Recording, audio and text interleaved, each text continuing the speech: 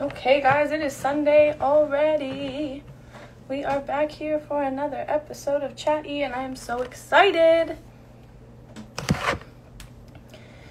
Wait for everything to connect and to work.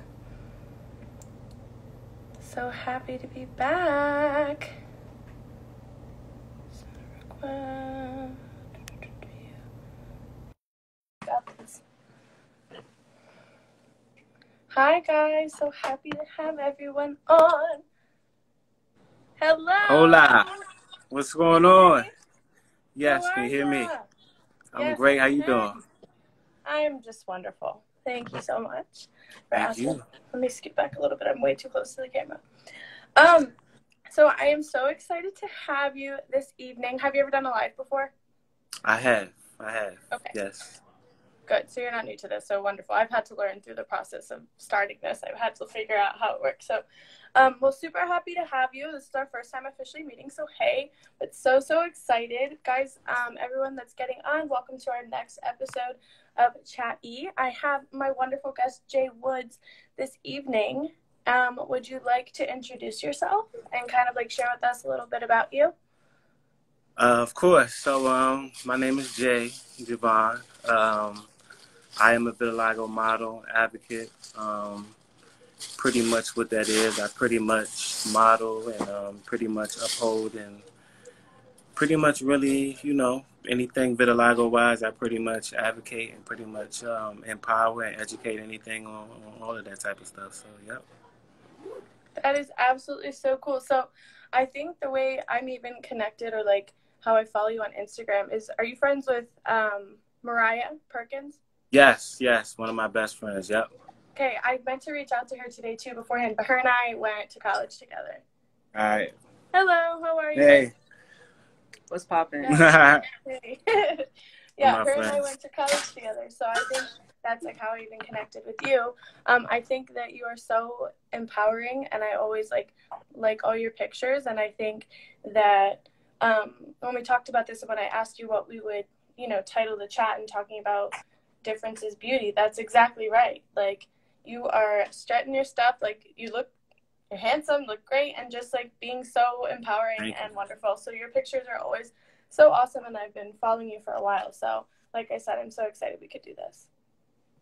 Thank you. Appreciate it. Yes, of course, you're welcome. Okay, so next question. So, what got you started into um here, actually I'm going to transition a little bit. So, do you want to explain to people if they're not really aware what vitiligo is just so they have a little bit more of an understanding? Yeah, of course. So, vitiligo pretty much is a skin pigmentation disease. Pretty much, it's kind of like our cells. I can't hear you. I cut you out for a quick second. Can you hear me now? Yeah, go ahead. All right, so basically, like I was saying, it's basically a skin pigmentation disease. Basically, the cells in our body can't fight the, the cells in our body that produce melanin in our skin.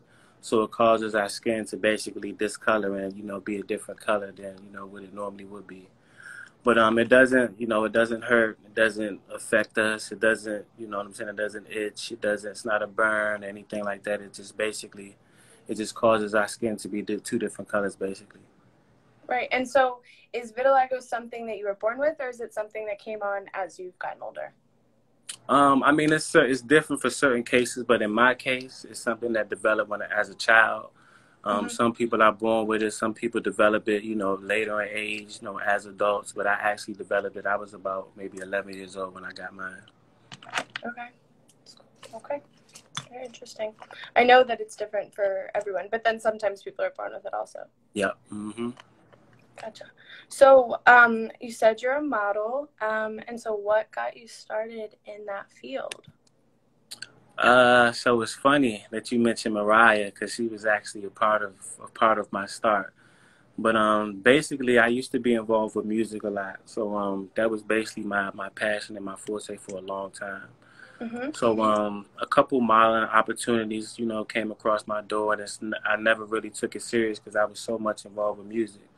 But um, then once I started transitioning into other things, you know, I was like, let me take this, you know, kind of seriously. So Sure. Um, one of, a photographer had a certain concept he wanted to do with me, but I just needed another person that had vitiligo to participate with me. So that's mm-hmm. where Mariah came into hand. So I reached out to Mariah and I was like, "Hey, I got this, I got this dope idea. This photographer wants to work with us. You want to be in this uh, this uh, photo shoot with me?" And um, she was like, "Yeah, let's do it." So we did it. And when we posted the pictures, they went viral. I'm talking about like millions and millions and millions of people start reposting and hashtagging it. That was two years ago, and I still been booked and busy to this day from that from that photo shoot. So that's that pretty much so what got cool. me started. Yep. I okay. So how you already knew her though beforehand? You guys were already friends. You already knew each other. Yeah, we were friends way before like we started modeling together and stuff like that. That is so tough. That is so cool. Um, she was on like a TV show, too. Right? Yeah. Mm-hmm. I saw the like documentary um, on Mariah because when we went to school early on, like I think I met her my freshman year of college. She used to wear makeup over her vitiligo, and now yeah. she doesn't. It's so cool. I've watched her transition too, and like talking about it right. and being so empowering to it. So it's so cool to watch that she's so beautiful and it's really amazing. But that's so cool. I've seen so many pictures of you guys too. Like I said, always so empowering. Um, so next question. What motivates you to work your hardest every day in your field? Because I know it's definitely not something that's super easy. It's definitely not. But um, when I first started doing this, um, one thing that really like really stood out to me is how many kids you know what I'm saying, and like younger people that like really look up to me. You know, I never, me growing up myself, I never really had someone with vitiligo, you know what I'm saying, to right. look up to or to look at on the screen or to, you know what I'm saying, to see modeling, you know what I'm saying? So like sure. just the people, the amount of people that I, that I, you know what I'm saying, that I touch or that I can reach out to, like it's, it's amazing. Like the people that write me, you know what I'm saying, that tell me that like, you know what I'm saying, like because of your pictures, I don't wear makeup no more you know what I'm saying, or because of your pictures, like I feel more comfortable wearing shorts or short sleeve shirts, you know what I'm saying, stuff like that. So like when I hear stuff like that, like it, I got to keep doing what I'm doing, you know what I'm saying? Like I got to keep going, like I got to keep, you know what I'm saying, empowering myself and everyone else and telling, you know, saying letting people know that you could be as confident as I am. So that's that's that means the world to me for real. That is truly so cool. And it's one of those things too, it didn't happen overnight.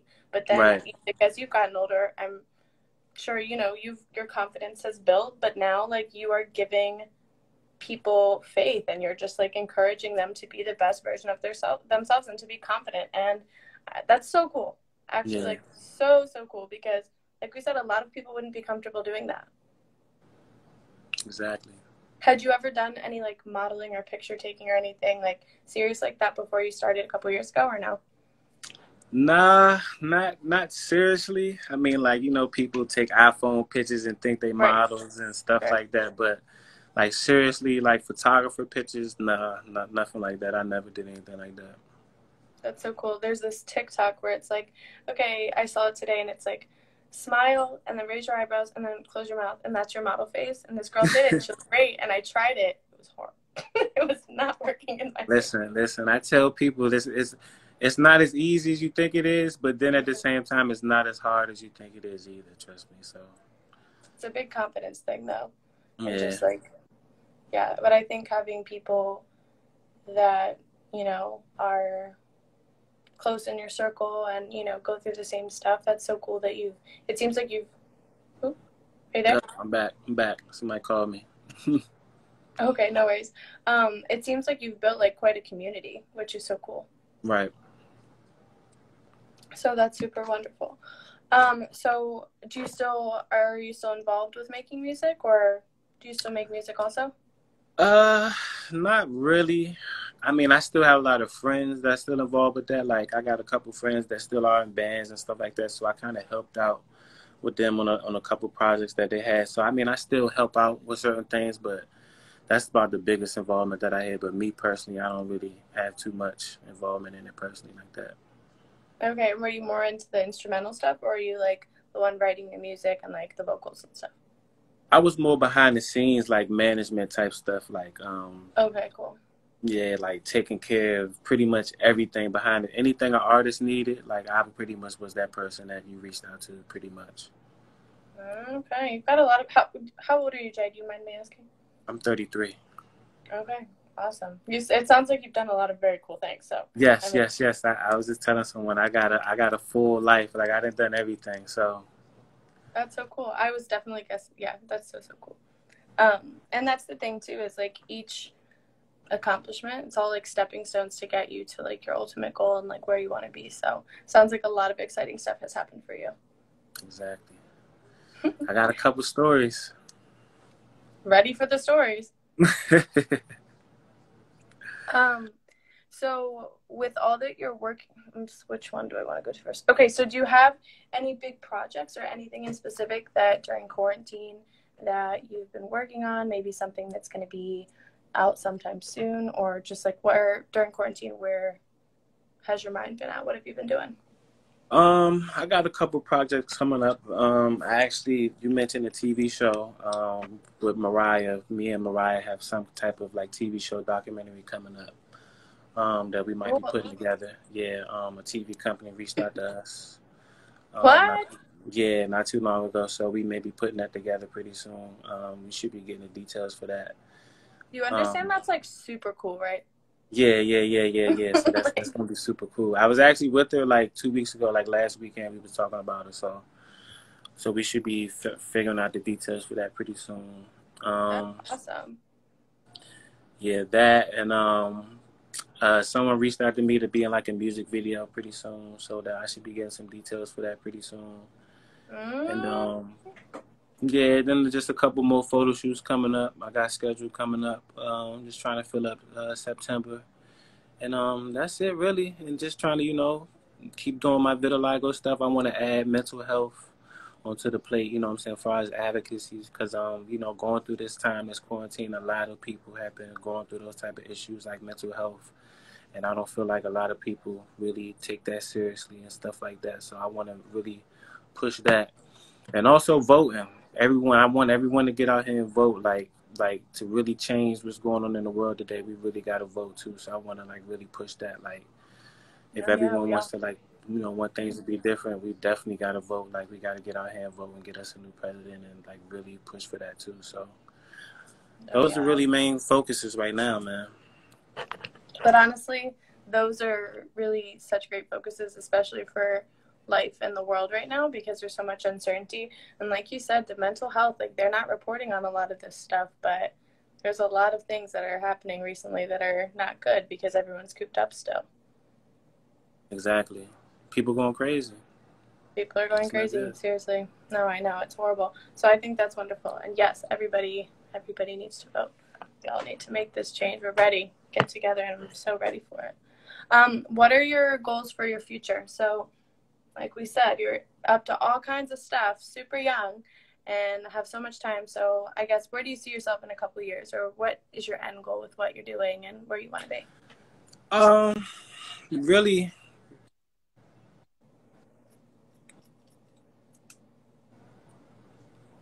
I mean, really, in a couple years, I just want to be bigger and better. You know what I'm saying? Like, I just want to be on a bigger platform. I just want to be reaching more people. You know what I'm saying? I definitely want to um, you know, talk more, speak more to more people around the world. Um, you know, motivational speaking is definitely something I want to get into also. Um, you know what I'm saying? Just telling my story. You know what I mean? Like, I feel like if my story can help somebody, you know, live a better life or even not even a better life, just have a better day. You know what I mean? Mm-hmm. Like, that's, I feel like I've, I've done what I was supposed to do. You know what I'm saying? So, just being bigger and better. You know what I'm saying? It's, it's always ways to improve yourself. So just improving. always, every single day. You know, yeah. always, you know, you know of, of course, you know, always. So that's really where I see myself in a couple years, man. Just just bigger and better than where I'm at right now. That's all. That's so cool. That's amazing. Yeah. Um, yeah. And striving to be better every single day. And I think, I, I don't know, I think most people deal with this, but you know, it gets really discouraging when you have these goals for yourself and sometimes they're just like not on your timeline like the same the amount of time that you set for yourself and so just striving to be better every day will allow you to get there it just might take longer than you expected So, can you hear me? It's like glitchy Exactly. a little bit. It's lagging a slight bit. Can you hear me? Yeah, I can hear you. Um, okay, so you said that when Yeah, you were, you can. It's like going in Mhm. and out.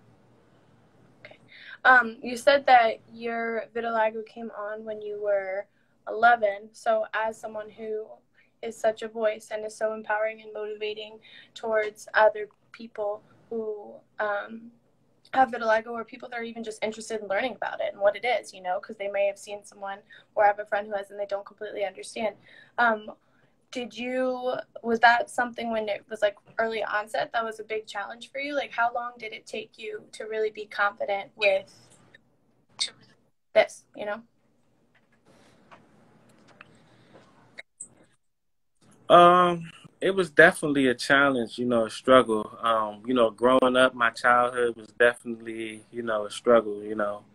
You hear every name in the book, you know what I'm saying, from kids. You know, kids could be very, you know, very, very mean, you know what I'm saying? So probably I would say in my adult ages, maybe when I got about 18, 19, you know what I'm saying, I started to really you know, become confident and, you know, started to look at myself, you know what I'm saying, look, you know, past my skin, you know what I'm saying, like to see, you know what I'm saying, I had to offer so many other things, you know what I'm saying, so I kind of looked past that, you know what I'm saying, so I started to, I started to look in the mirror you know saying, I started to smile every day, you know what I'm saying, instead of frown, you know what I'm saying, so I kind of built it into my head that, you know what I'm saying, that, you know, I don't, it's, it's not, it's nothing wrong with not looking like everybody else, you know what I'm saying, so I just took it and ran with it, and you know, here I am today. Oh, absolutely. Like you said, difference is beauty and it makes you who you are and like makes you stronger as a person and allows you to I feel like when um, everyone has different things that they deal with, but it allows you to just get like a better view of life and like people and just like you're more accepting and you know, just because you've had your stuff that you've been through and then it just makes you a stronger person. Mm-hmm. So that's awesome. Um, another question. So when stuff gets hard because, you know, being in this kind of field, in the field that you're in, like modeling and different things, or when you're working at music, it can be challenging, you know. Um, what keeps you super motivated when stuff, when it seems like it's not going your way?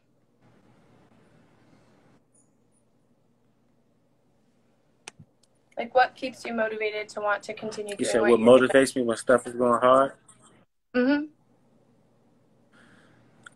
Um, well, I mean, me personally, the type of person that I am in general, like I always know it's gonna be some type of speed bumps. You know what I'm saying? So I kind of plan for those speed bumps and how to get around them.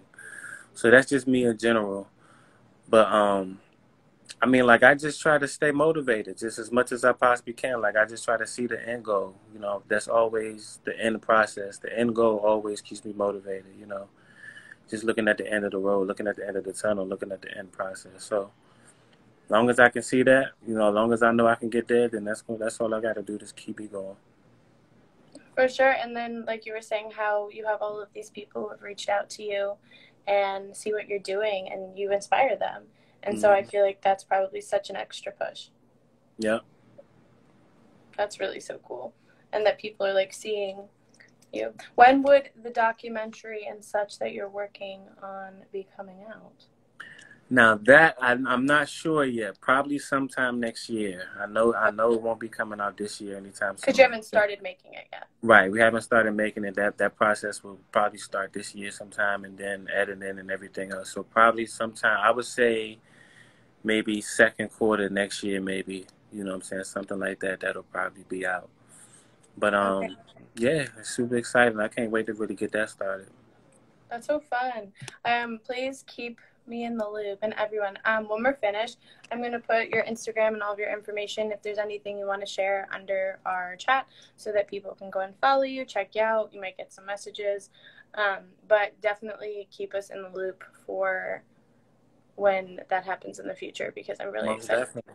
Most definitely. I definitely will. You'll be the first one to know. Trust me. Okay, I'm gonna hold you to it. If, I'm gonna hold you to it. um, so, do you have any tips or anything that you want to give people my whole intent behind doing Chat-E and like doing this at all is to showcase people who are doing well in their field, who are successful, who are confident, who are striving to be the best version of themselves. Because, like we said, mental health right now and life is getting in the way. People are not, they're giving up on themselves and on their dreams because there's so much uncertainty. No one has control. So, like I've said multiple times this evening, and you know this, you are inspiring. You are teaching people and helping people every day to be the best version of themselves because that's all we got. And we have to be our own biggest fan. And so, do you have any tips to encourage, to motivate um, people to keep doing what they love, whether it be modeling and music, whether it be art, whether it be writing a book? I don't know. Whether it be running, who knows? But do you have any tips? I mean, my biggest tip is to never let nobody tell you you can't do anything. You know what I'm saying? Like, if it's that's what you want to do, then that's what you can go out there and do. Like, don't ever let nobody tell you you can't be this, you can't do this, you can't. Don't ever tell. Don't ever let no one tell you you can't. You know what I'm mm-hmm. saying? So, you know, like that's that's my biggest tip to anyone. Like, if that's something you want to do, find out how to do it, research. You know what I'm saying? Do whatever you got to do, and make it happen. Like, don't make no excuses. Just make it happen. Just that's my biggest tip. Yeah. Yes, and then you are a prime example of when you don't give up on yourself, what you can do, what exactly happen. Exactly. That's so cool. Have you um have you gotten to travel or do you travel often when it's not coronavirus? Well, yeah. Um, I've traveled everywhere for photo shoots. L.A., um, Atlanta, New York. New York is really was really like a main spot that I always was at. Um, I was there maybe like every weekend for maybe like four months. Are you not from New York or you are? I'm not. I'm from DC originally. Okay, because when that's when I texted you before this, I was like, I hope we're on the same time zone. I thought it said New York, so I was like, I hope we're on the same time zone just to make sure. Okay, cool. Yeah, but um, I'm originally from DC, but um, yeah, I've been all over as far as like photo shoots, Texas, Florida. I've been everywhere. All the big cities. Yeah, all the big ones. That's so cool. Very, very fun. And do you hope to kind of like take, I think you said this earlier, but do you hope to kind of take what you're doing, maybe you go internationally at some point? Yeah, I've had I've had people reach out to me internationally for certain things. Um, it's just whatever the reason they've been held up, and I just haven't been able to get over there. But I definitely um I have a I have I actually have a friend in Amsterdam um I want to link up with him. Um, he has vitiligo. Me and him are like best friends. You know what I'm saying? So yeah. I gotta get over. I gotta get over there and see him. You know what I'm saying? And, link up with him. So it's definitely work over over there for me to do. So I just gotta actually get over there. No, I know absolutely. When we're allowed back in the um, in the continent. exactly. When when everything goes back to normal, right? Not, yeah, now wouldn't be the time to go. But yeah, definitely. And I think that's so cool because vitiligo impacts people all over the world. Exactly. So I think you will do such great things. I know you will. This is literally so wonderful. I really, um, all I knew about you was from your pictures. So this is also a really fun time for me to get to know you and learn about you too. Oh. So I'm an open book, so. Well, I love it. Do you have any, before we finish up, do you have any crazy cool stories you can share? You can say anything about like some super cool trip you got to take with your job or like something crazy cool or something that wasn't good? I don't know. Uh, if not, that's um, okay too. Just if there's anything. I would probably say out of all the places I've been to, the best place was South Korea. Oh, so you already have gone international. Yes, um, but that was that was a while ago. But that was that was probably the best place I've been internationally. I probably, I probably, it'd be inappropriate to share any stories, but um, I definitely had a great time. I can definitely say that it was probably the best time of my life. But um, yeah, it was, it was crazy. That was, that was the best time ever. That's so cool. And you got to go with for the photo shoot. Yeah, I had a photo shoot over there. Yep. Gosh, that's so sick. Okay, well, that's very impressive. Very, very cool.